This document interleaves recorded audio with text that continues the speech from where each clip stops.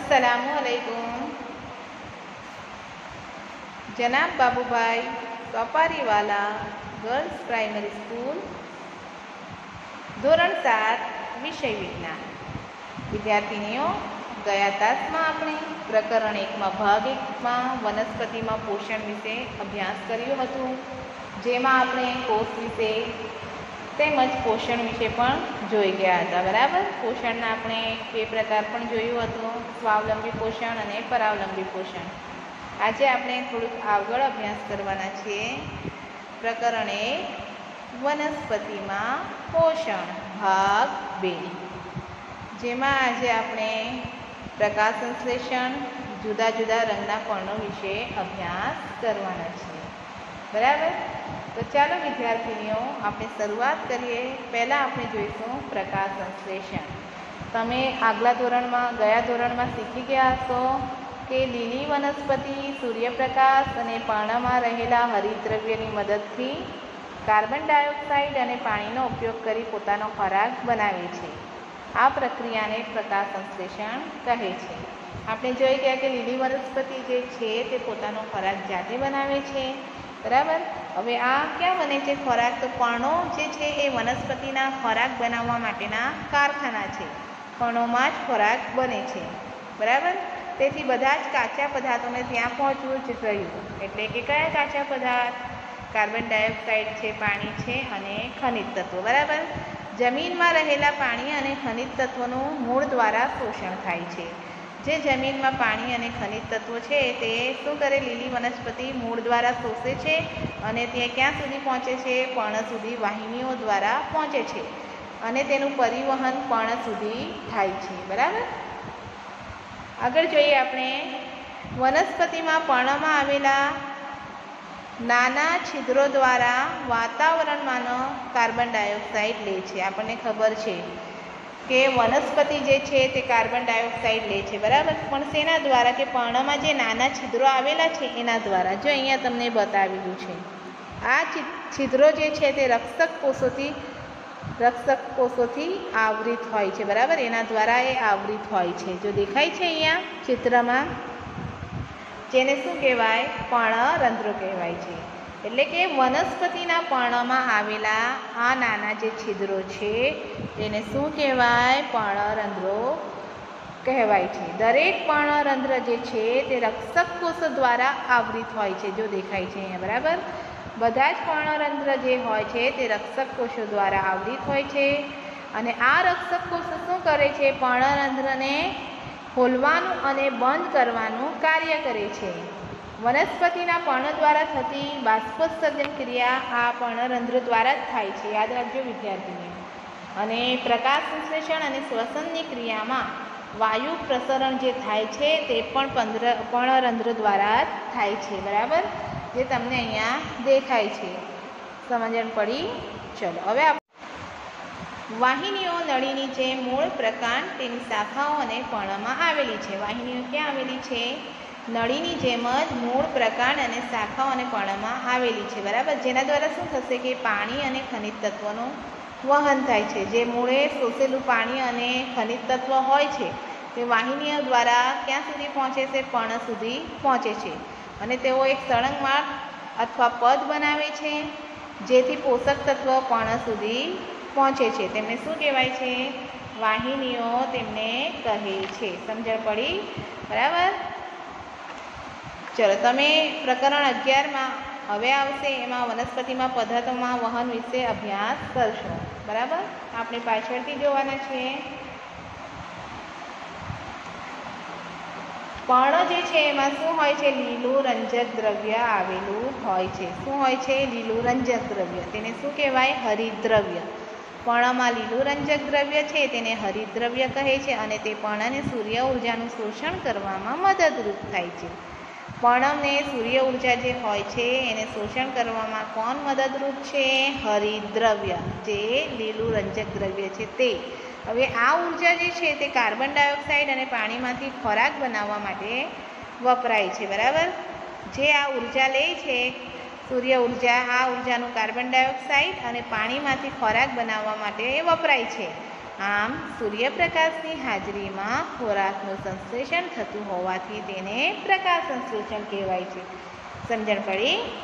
એટલે કે સૂર્યપ્રકાશની હાજરીમાં ખોરાકનું સંશ્લેષણ થાય છે, બરાબર ને? સૂર્ય ઊર્જા દ્વારા. તેથી તેને શું કહેવાય છે? પ્રકાશ સંશ્લેષણ કહેવાય છે. ફોટો એટલે કે પ્રકાશ અને સિન્થેસિસ એટલે કે સંશ્લેષણ.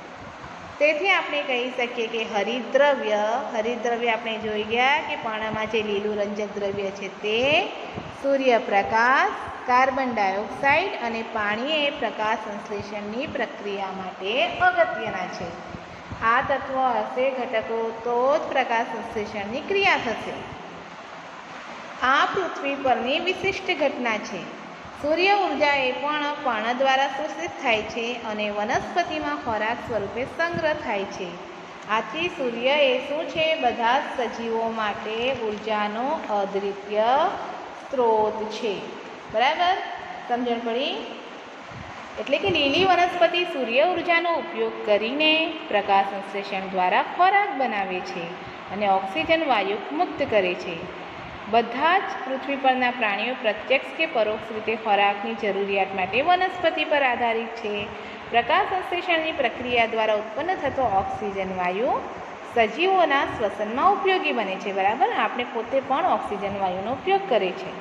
જો પ્રકાશ સંશ્લેષણની પ્રક્રિયા ના થાય, તો ખોરાક બનાવવાની ક્રિયા ન થાય અને ઓક્સિજન ઉત્પન્ન પણ ના થાય. બરાબર ને?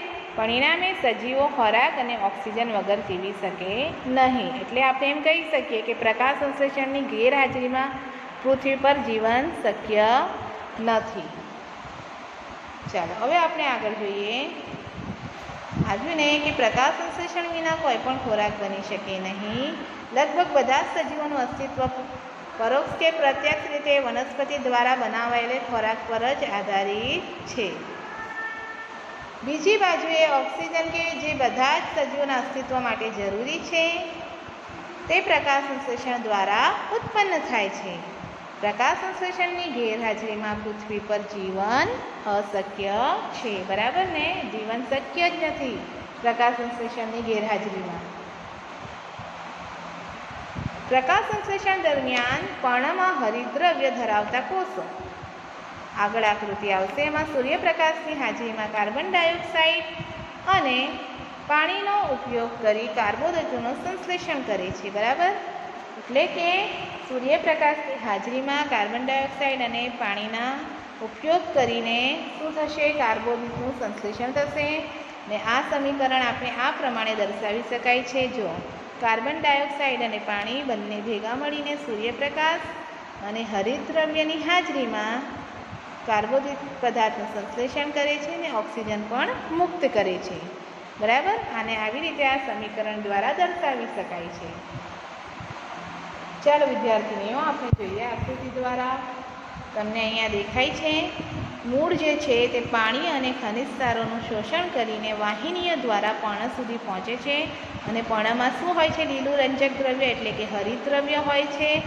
આ સૂર્યપ્રકાશનો ઉપયોગ કરીને, સૂર્ય ઉર્જાઓનો ઉપયોગ કરીને કાર્બન ડાયોક્સાઇડનો ઉપયોગ કરીને શું બનાવે છે? પોતાનો ખોરાક જાતે બનાવે છે. બરાબર? આપણે જોઈ ગયા એ પ્રમાણે કે સૂર્યપ્રકાશની હાજરીમાં કાર્બન ડાયોક્સાઇડ અને પાણીનો ઉપયોગ કરી કાર્બોદિતનું સંશ્લેષણ કરી શકાય છે. બરાબર? સમજણ પડી? ચાલો, હવે આપણે આગળ જોઈએ જુદા જુદા રંગના પણો. વિદ્યાર્થીનીઓ, તમે જોયા હશે કે કેટલા પ્રકારના પર્ણો હોય છે? લાલ હોય છે, બદામી હોય છે, પીળા હોય છે, બરાબર? હવે પર્ણમાં આપણે આગળ જોઈ ગયા કે પર્ણમાં શું હોય છે? લીલું રંજક દ્રવ્ય હોય છે. હવે આ લાલ તમને એવું સવાલ થશે, એવો પ્રશ્ન થશે કે લાલ, બદામી કે પીળા પર્ણોવાળી વનસ્પતિ રંજક દ્રવ્ય ધરાવે છે? કેમ કે એમનો રંગ તો અલગ છે. તો આપણે જોઈએ પહેલાં એક પ્રવૃત્તિ દ્વારા બે એક સરખા છોડ લો. એક છોડને અંધકારમાં રાખો. બોતેર કલાક માટે રાખો, બરાબર? અને બીજા છોડને સૂર્યપ્રકાશમાં રાખો. જે પ્રમાણે તમે ધોરણ છમાં શીખી ગયા છો, બરાબર? કે એવી જ રીતે બંને છોડના આયોડિન દ્વારા તમારે પરીક્ષણ કરવાનું છે અને નોંધવાનું છે કે અંધકારમાં રાખેલ હતો તેને ત્રણ ચાર દિવસ માટે સૂર્યપ્રકાશમાં મૂકો અને ફરીથી તેનું આયોડિન, પર્ણનું આયોડિન દ્વારા પરીક્ષણ કરો અને તમે આ અવલોકન નોંધો. બરાબર?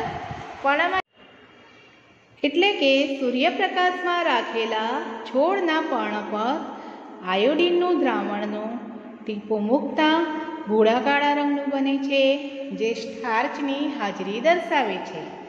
બરાબર? સૂર્યપ્રકાશમાં રાખેલા છોડના પર્ણ પર આયોડિનનું દ્રાવણ મૂકતા એ કેવું બની જાય છે ભૂરા કાળા રંગનું. એટલે કે તે સ્ટાર્ચની હાજરી દર્શાવે છે. જ્યારે આપણે અંધારામાં, અંધકારમાં રાખેલા છોડના પર્ણ પર આયોડિનનું દ્રાવણ મૂકતા તે ભૂરા કાળા રંગનું બનતું નથી, જે સ્ટાર્ચની ગેરહાજરી સૂચવે છે. બરાબર? અંધારામાં મૂકેલા છોડને ત્રણ ચાર દિવસ સૂર્યપ્રકાશમાં મૂક્યા બાદ આયોડિનની કસોટી કરતાં સ્ટાર્ચની હાજરી દર્શાવે છે. એટલે આ પરથી આપણે શું કહી શકાય કે પ્રકાશ સંશ્લેષણની પ્રક્રિયા માટે સૂર્યપ્રકાશ જરૂરી છે.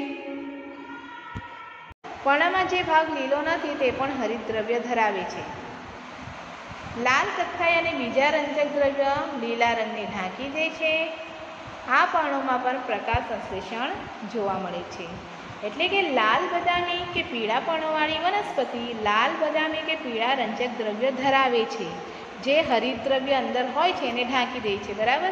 એટલે કે હરિદ્રવ્ય તો છે જ, પણ ઉપર જે એમનું રંગ છે, લાલ, બદામી કે પીળા, એ શું કરે છે? હરિદ્રવ્યને ઢાંકી દે છે. આમ પર્ણનો જે ભાગ લીલો નથી, તે પણ શું છે? હરિદ્રવ્ય ધરાવે છે. આથી આવા રંગના પર્ણોમાં પણ હરિદ્રવ્ય હોવાથી શું થાય છે? પ્રકાશ સંશ્લેષણ થઈ શકે છે. બરાબર? જો વિદ્યાર્થીનીઓ અહીંયા તમને જુદા જુદા રંગના પર્ણ દેખાય છે, લાલ, બદામી, પીળા, બરાબર? આ બધા પણ શું? હ- હરિતદ્રવ્ય હોય છે બધામાં, બરાબર? રંજક દ્રવ્ય ધરાવે છે જે હરિદ્રવ્યને ઢાંકી દે છે. આ પર્ણનો જે ભાગ લીલો નથી, એટલે કે પીળો છે, કે લાલ છે, તે પણ શું છે? હરિદ્રવ્ય ધરાવે છે.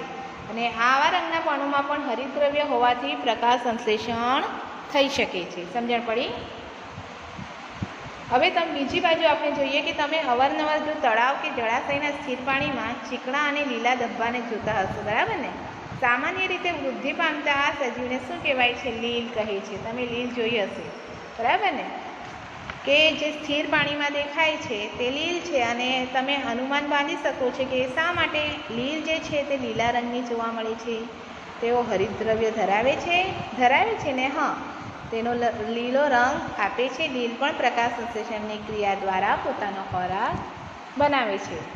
લીલ જે છે તે હરિદ્રવ્ય ધરાવે છે. આથી લીલ સૂર્યશક્તિનું શોષણ કરીને કાર્બન ડાયોક્સાઇડ અને પાણીનો ઉપયોગ કરી પોતાનો ખોરાક જાતે બનાવી શકે છે. એટલે કે લીલ જે છે તે પ્રકાશ સંશ્લેષણની ક્રિયા કરતી હોવાથી લીલ સ્વયંપોષી વનસ્પતિ કહી શકાય છે. બરાબર? વિદ્યાર્થીનીઓ, આટલી સમજણ તમને પડી ગઈ? આના પછીની ચર્ચા આપણે આગલા તાસમાં કરીશું. Thank you